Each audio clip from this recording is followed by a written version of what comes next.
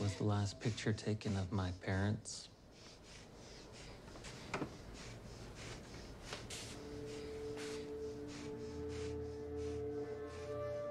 Do you recognize anything?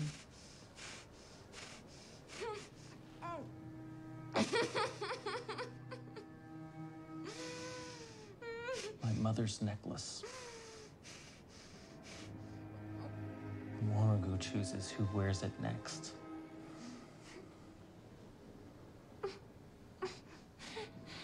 She's with her now. And she needs to feed.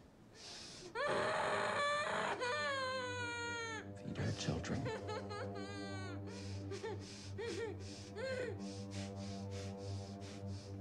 If I don't satisfy the crows soon,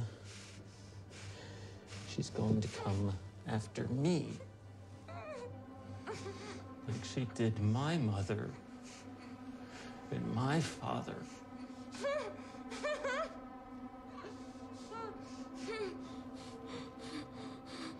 Normally, it would be done by now.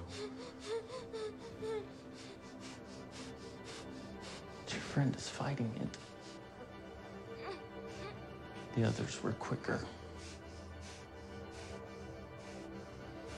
I'm telling you this.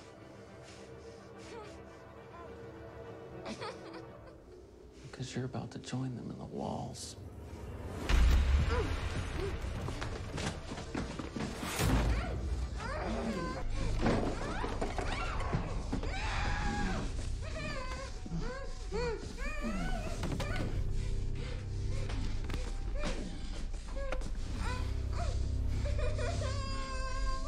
don't have a choice!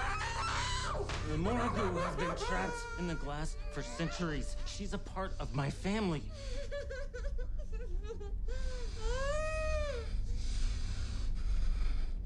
I found my father's journal.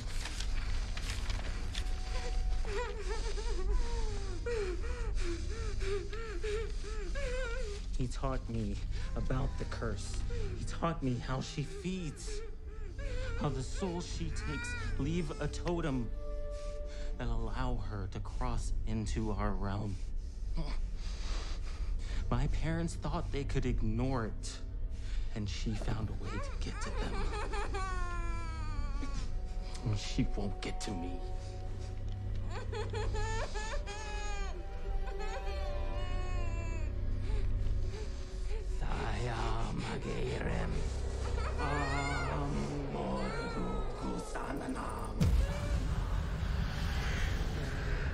Saya magirem. Seua Theba. Take this offering. Feed on her soul.